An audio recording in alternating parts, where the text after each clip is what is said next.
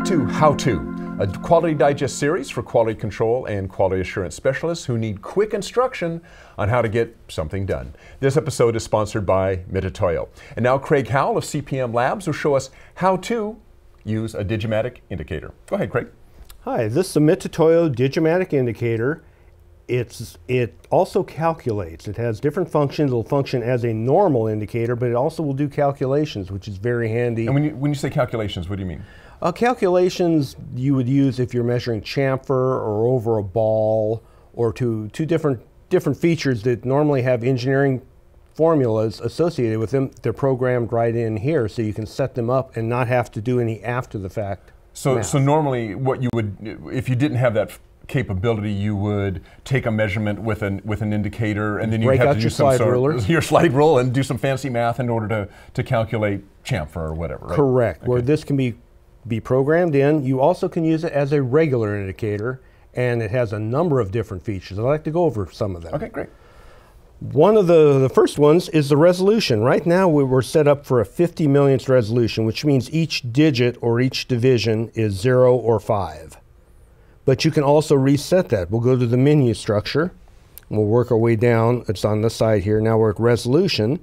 When you choose that, you can change the resolution down to 20 millionths of an inch or even down to 10 millionths of an inch. For an indicator to measure 10 millionths of an inch is phenomenal.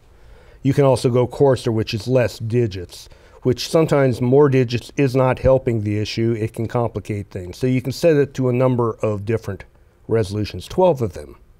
But the base, base one Mitutoyo recommends is 50 millionths of an inch. And the accuracy of this is 1 ten thousandth, which is two divisions or two digits. Or two do okay. So one of the first things we'll show how to do is just measure different heights by, we'll use gauge blocks to simulate. Right now we're zeroed. And I notice you're using uh, gloves. What are those for? Well, the gloves will keep the oils from my hands from touching the metal gauge blocks. At normal lab use, we would use white cotton gloves to also for heat, Okay. to, to keep our 98.6 from touching a 68 degree item, or we'd use tongs. Okay. uh, under the lights here in the studio, some of the numbers may not turn out to be perfectly linear because of the heat. Everything is heating up and expanding, but Right. let's give it a shot. So first thing we'll do is we'll put a 50 thousandths gauge block underneath, and I'm showing about a tenth and a half eye, 05015. Not uncommon for it to grow 15 Sure. Yeah. In, in this sort of thing. There's And about we- 150 in here, so we could keep going up with different size gauge blocks. I'll just go right up to the top to a one inch to show that, you know, this, these would be basic type of step height. And here we have one, one inch, two tenths. So it, it's about a linearity of one division, okay. which would be great to have one inch with one division worth of, of linearity. That's fantastic. Now, keeping with our theme of how do you do stuff, Okay. Let's go ahead and, and measure a step height and show how it's actually done in practice.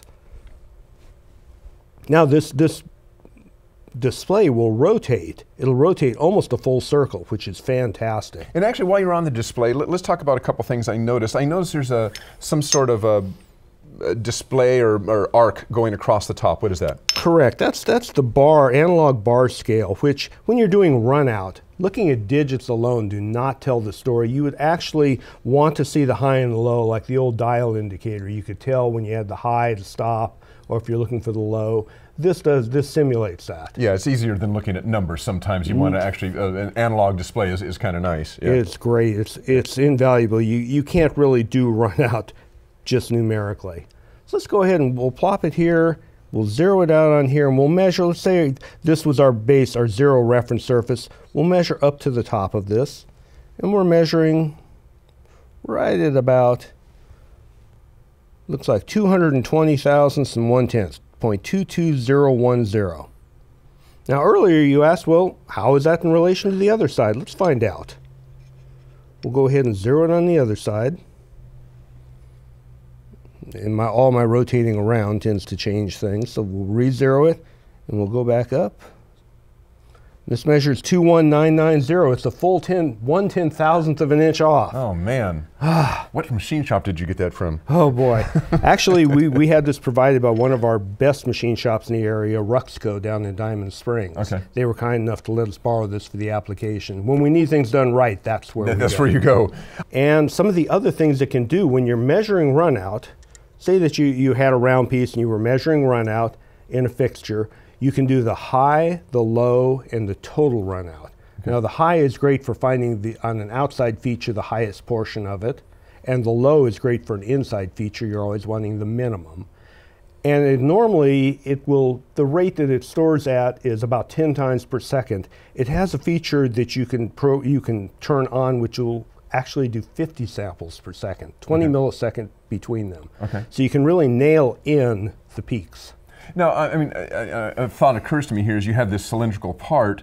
If you wanted to measure the height of that cylindrical part and be sure that you were exactly on the top, you could do some sort of peak, You could uh, do a peak. measurement, right? And it would just whatever the highest point you measured as you ran that You'd cylindrical stop. part, it, it would tell you what that was. Right. Okay. Either you would stop or you could store that, that information. Okay. So basically, that's some of the features. I can't really show you the calculated features. You need dedicated fixtures. But if it's going to be in a fixture for doing angle, taper, things of that nature, you can't beat this. Okay, all right. Thanks, Craig. Uh, and thanks to Mitutoyo for sponsoring this episode and providing the Digimatic indicator. Thanks to all of you for watching, and we will see you at the next How To.